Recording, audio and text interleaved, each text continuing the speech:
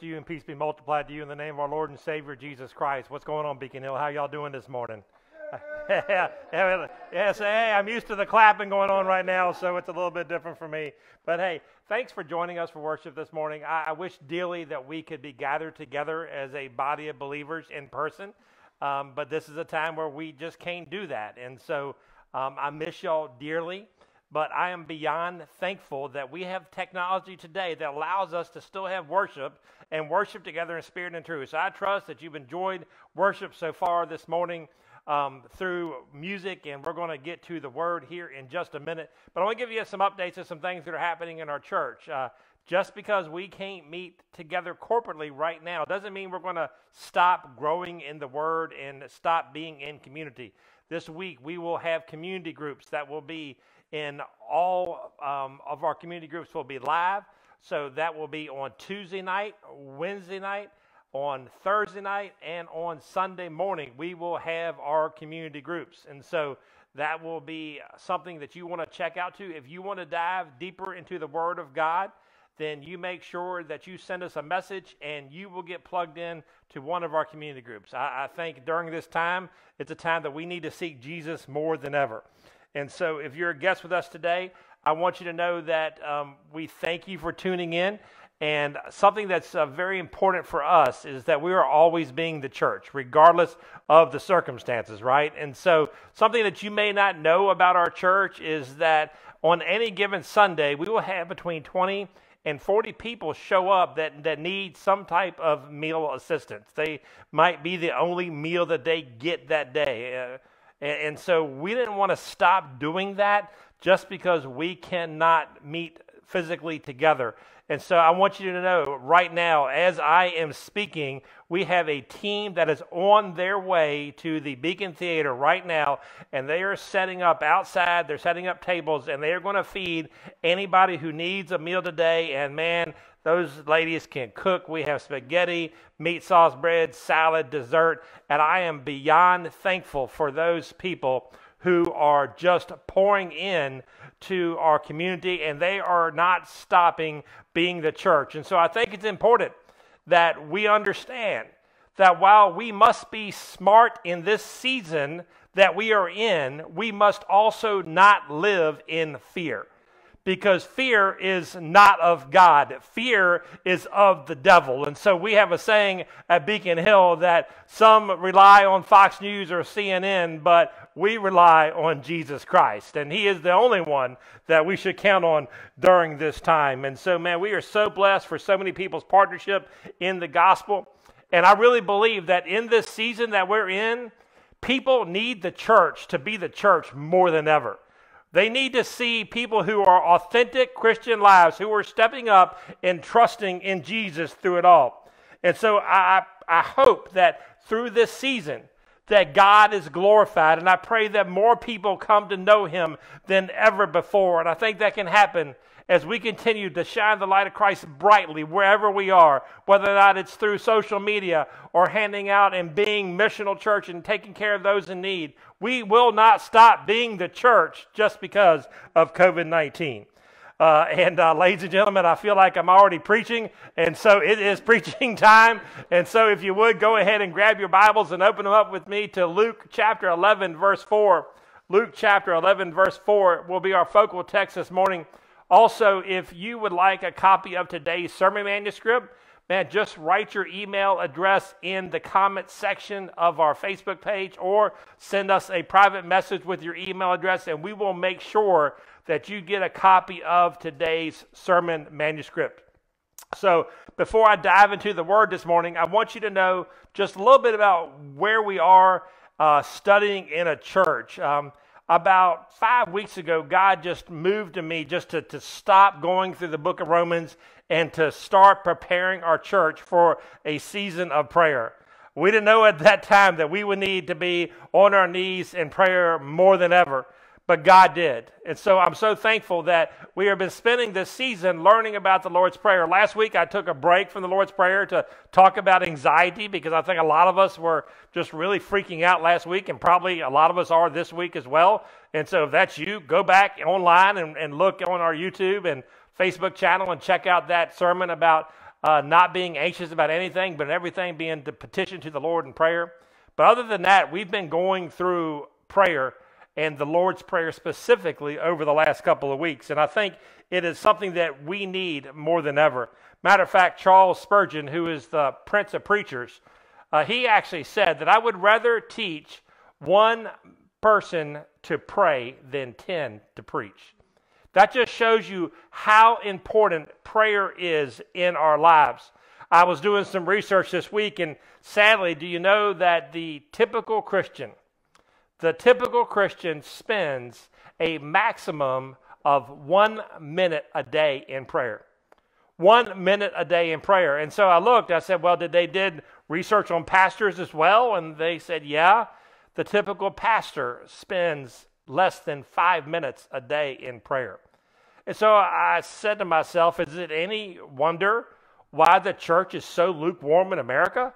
I mean, because we're not spending time in prayer with the one who can handle it all. Why, when we go to something like COVID 19, everyone runs to panic instead to run to Jesus Christ who can handle everything. And so I really think that we need to get back to really praying. I think Dwight L. Moody, he, he gave a gut punch when he said it like this. He said that uh, we can handle times of affliction better than we can times of prosperity. Because in times of prosperity, we tend to forget God. I would imagine that many of us here today that are watching online are spending more time in prayer than we ever have because we realize that we need God now more than ever. And so it is my prayer that when this season passes, and trust me, church, it will pass, I pray that we will not give up seeking God in prayer because in prayer we can come and talk to God about anything, anywhere, at any time. And so I want us to really dig deep into this topic of prayer. When you look at Luke chapter 11, uh, one of Jesus' disciples came up and he said, uh, after he prayed, and he could have asked Jesus anything. You ever thought about what you would ask Jesus? Like, what would you ask him to teach you if you could have just a one on one session with Jesus? And by the way, that is awesome. And in case you're new to the faith, you can really have a one on one session with God anytime, and that's through prayer. But this disciple came up and he said, Jesus, would you teach us to pray?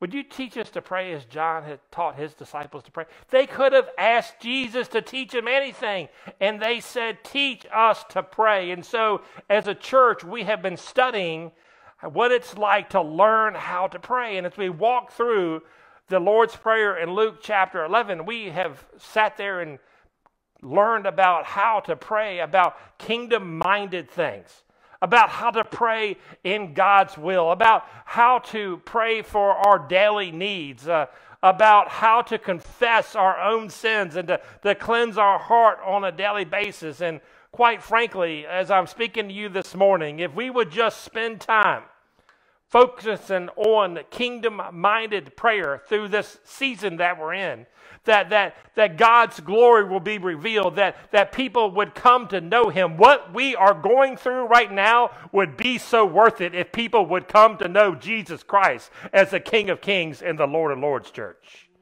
May God's will be done through this season. And I know that His will will be done, and more people will come to know Him. So today we're going to talk about a topic of prayer in Luke chapter 11. That is a tough one. And so I wanted us to get back to normalcy as much as possible and just to keep on doing what we're doing. And so we are going to talk about this thing called forgiving others.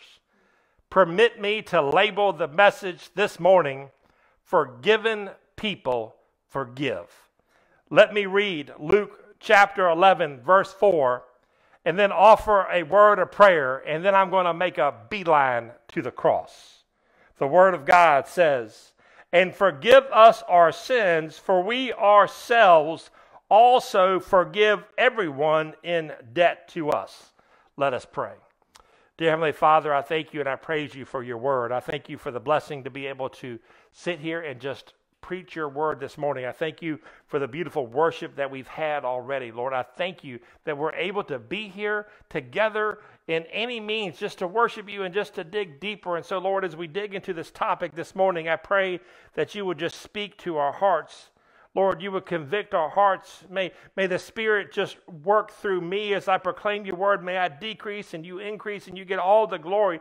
Lord, I pray that if someone is listening online today that doesn't know you as Lord and Savior, that today would be the day of salvation for them. Lord, I pray that if someone is bottling up this, this hate, this division, this, this something that they're not really forgiving somebody, Lord, I pray that they would deal with that today, Lord, as this message just unlocks this truth. Lord, this is for you and all about you today. In Jesus' name, amen. Y'all, forgiveness is tough. Right? We, we all like to talk the talk, but it's harder to walk the walk. A lot of us will say that, man, I've, I've buried that hatchet, but in the reality, we keep the handle out for immediate use. Amen? Now, we sit there and, and, and we say we like to forget, but it is so tough. And so I, I've got news for you, church. Forgiveness is not an option. Forgiveness is a command that Christ calls us to do. When you really want to grow closer to Christ, you will realize that forgiving others would be a natural part of the Christian walk. Look, Corrie ten Boom found this out the hard way. This is a lady who talked about forgiving others. She was a godly woman, but she found it out the hard way. In World War II, um, her family was hiding and saving Jews from, from, from, from people that would take them off to concentration camp. And so they were doing this by hiding them in the attic of, of their house. But it wasn't um, long before a Nazi officer came and, and, and, they found them. And, and they took Corrie and their family off to prison. Then they took Corrie off to a political concentration camp. And then lastly, they took Corrie off to death camp where we, she was facing certain death. She had been through so much mental and physical pain. And then miraculously, God delivered her from that. And y'all, I, I wish I could tell you that was, that was the end of the story. But when she got back to church, one day she was in church and this man started walking over to her. This man didn't recognize her, but she recognized him.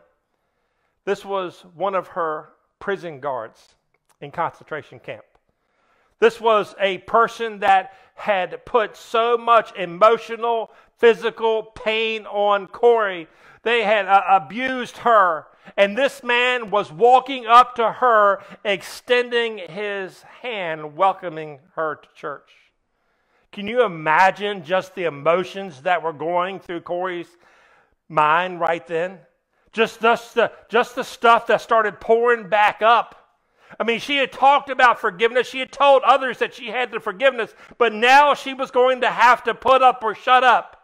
And what Corrie realized that on her own power, she couldn't possibly forgive this man for what he had done. She knew that she was going to have to dig in to the power of Christ living within her to be able to forgive this man. It was only because the love of God that was in her that she was able to bestow that love on this man, even when he didn't deserve it.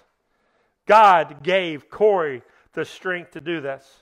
So I don't know what type of burden you are facing today, what type of grudge you are holding. Maybe you have never been something that intense in your life as Corrie went through. But many of us in our life have been through seasons of hurt, been through seasons of pain. And there will be times in your life where you will need to seek forgiveness and you will need to offer forgiveness. It's in those times that I want you to look to God for the strength to be able to forgive others. This morning, I want to talk to you about forgiving others through prayer. My first point is God teaches us how to forgive. Man, many of us have been hurt by others. Amen. Man, we, we face this battle. I know in my years as a pastor, I, I have been hurt by, by many people. I know a lot of us think pastorate's so easy. You know, we just get up, we only have to work 30 minutes a week, but, you know, it's, it's a lot of pain sometimes being a pastor.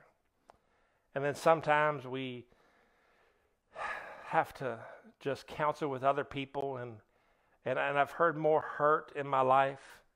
I, have seen more hurt. I, I've seen people that have had to deal with so much immense pain. And so I'm not here today to tell you that forgiveness is easy. I'm just here today to tell you that forgiveness is necessary. So I pray that through this simple passage, we're able to open up our hearts to start to stir in us a desire to forgive others where we can and where it's possible. Because the reality of it is, some of us today, we, we, we have this so much hatred in our lives. You, you are sitting there and you're thinking of somebody that you may not think deserves to be forgiven. And if that is you this morning, I encourage you to get up right now and go look in the mirror, and you will see someone who doesn't deserve to be forgiven. But Jesus Christ found you worthy anyways. We have to look no further to the cross to see someone who offered forgiveness even when we did not deserve it. See, the Bible says that we have all sinned and fallen short of the glory of God. The gospel of Jesus Christ says that we were all once enemies of the cross. We were only reconciled through the shed blood of Jesus Christ on the cross of Calvary. Look, that, my friends, is the best example I know how of how to restore a relationship to look to the cross of Jesus Christ. You have to look to God and not to self. God teaches us how to forgive others through his son's shed blood on the cross of Calvary. Look, Jesus was denied by one of his own. He was mocked. He was beaten. He was crucified. As he was dying, the soldiers were casting out his clothes, playing a game of lots. And yet, when Jesus was about to take his last breath, he looked up to the Father and said, Father, forgive them, for they know not what they do. If you truly know, if you truly know what it's like to be forgiven, you should have a heart that is working in you to offer that forgiveness to others. See, too often we make forgiveness a one way street. We want God to forgive us for everything, but we won't forgive others for anything. So, may I suggest to you this morning that when you realize that we all fall short of the glory of God, that each and every single one of us are jacked up. We do things every day that we hate, that we wish we wouldn't do. When we realize that, that Christ forgave us, then we can start to work in our hearts to start having a heart and an attitude to forgive others. See, the first part of verse 4 is going to God in confession to, to cleanse our own sins. See, David said in Psalm 51:10, he cried out to the Lord to create in me a clean heart, O God, and renew a right spirit within me. See, I pray in this season that we're learning how to pray. That I pray that God would renew our hearts, would cleanse our souls, and create a spirit of forgiveness within each of us. Because here's the deal the next part is really going to step on your toes. God does not discriminate on who he offers forgiveness to, and neither should you. That part stepped on my toes this morning. If it was nobody else, it was preached for me. Look with me back at verse 4 and forgive us our sins for we ourselves also forgive everyone.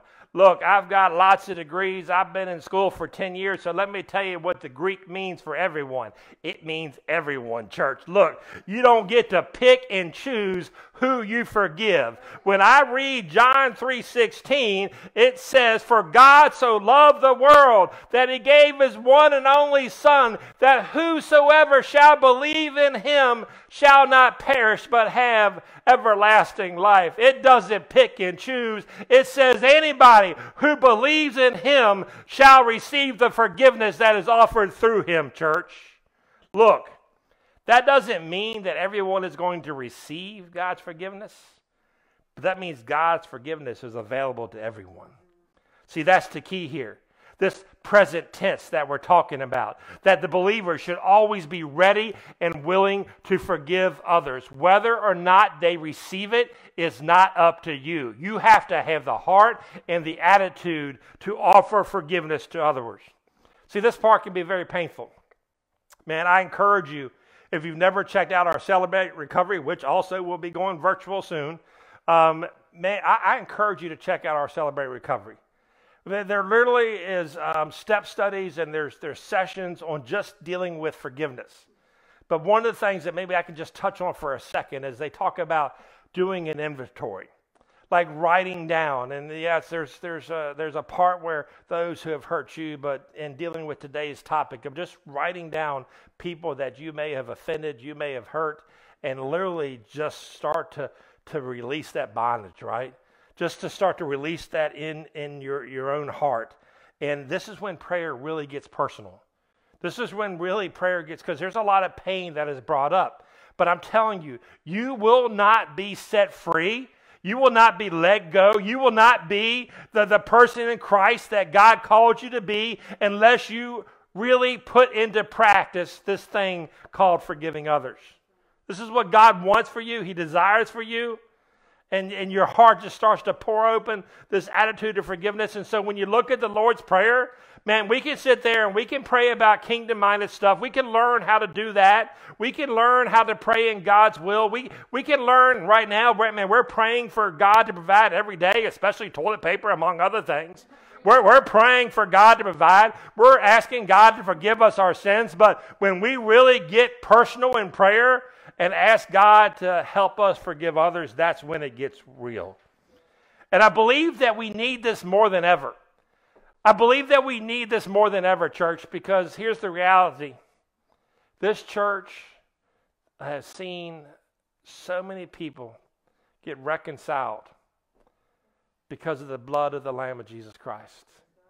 There are people that have experienced so much hurt. And when I look at it in the world today, what do y'all see? Do y'all see so much bitterness? Do, y'all see so much hurt? Do you see so much pain? And so maybe the church can be the church right now. Maybe the church can just, just sit there and be the one that, that says, look, I want to offer forgiveness to others. I want to restore. Maybe this is a season where you can just come and you can be reconciled with people. You can see relationships be restored and Christ will be glorified through it all. Look, lastly, this morning, our desire through this all should be that we look more like Jesus. You know what happens when you seek Jesus in forgiving others? Your focus becomes more on godliness and less on worldliness. So when you do that, you become more like him. I want to read 2 Corinthians 5:17. Look. And I don't know about you, but I want to be more like Jesus. I want to be more like Jesus today than I was yesterday. I want to grow to be more like Jesus in everything that I do. So when I read 2 Corinthians 3 17 through 18, it says, Now the Lord is the Spirit, and where the Spirit of the Lord is, there is freedom. And we all, with unveiled face, beholding the glory of the Lord, are being transformed into the same image from one degree of glory to another. For this comes from the Lord who is the Spirit. You see, church, when we are truly trying to look more like Jesus, we realize that even the greatest hurt that you are going through or have been through in your life is only temporary. See, Revelation says there will be a season where, where he will wipe away every tear, he will wipe away every hurt. And for Christians, we know that the pain that we face in this world, the things that we go through, they're only temporary because there will be a day where we will be together and we will worship Jesus Christ forever and ever. And we will just worship him in spirit and truth. And it will be the best day of our lives, and it will never end. We'll be able to worship Him forever. And I don't know about you, but I long for that day more than ever right now. So when I ask you this, when you look at other people, when you look at people who are in pain, the most important thing is not that you win the battle, but that they know Jesus Christ is Lord of their lives. And so, if that means that you need to make the first step in offering forgiveness, and maybe through that all, that they come to, to start to ask questions about how was this possible for you? How was it possible for you to come and do this? You can say, Let me tell you about my best friend, and his name is Jesus Christ. If you're here today and you don't know Jesus Christ as Lord of your life, we're going to have a time of invitation. The band is coming up right now, and we are going to worship through invitation. If you've got a struggle that is dealing with in your life, you've got a hurt, a habit, a hiccup, anything that's going on in your life, I pray that you lay it down at the feet of Jesus. The band's going to play one last song of invitation. I'm going to go back to the computer. And if you have a, a prayer request that I can pray for you today, please send a message and let me pray for you. Maybe you've got a burden that you're hanging on to. I just want you to give that to God today in prayer. If you've never turned your life over to Jesus, I want you to know that that forgiveness is available to you. You may think that what you have done in your life could never be forgiven. And I'm here today to tell you that His grace is sufficient. You just have to give your life to Him. I'm going to pray, and then I'm going to ask you to respond however God's leading you today. Dear Heavenly Father, I thank you and I praise you for your word. I thank you for the power of the gospel of Jesus Christ to change lives. Lord, I thank you for forgiving us. Lord, those who know you realize the power of forgiveness. And so, Lord, I pray today um, that we would we would just remember that. And Lord, when your word tells us to forgive others, Lord, we have to look no further back at the day that we came to know you, that the day that we were set free, to muster up the strength and the courage to be able to have a heart towards learning how to forgive others as well. And so, Lord, I pray that you are glorified today. In Jesus' name.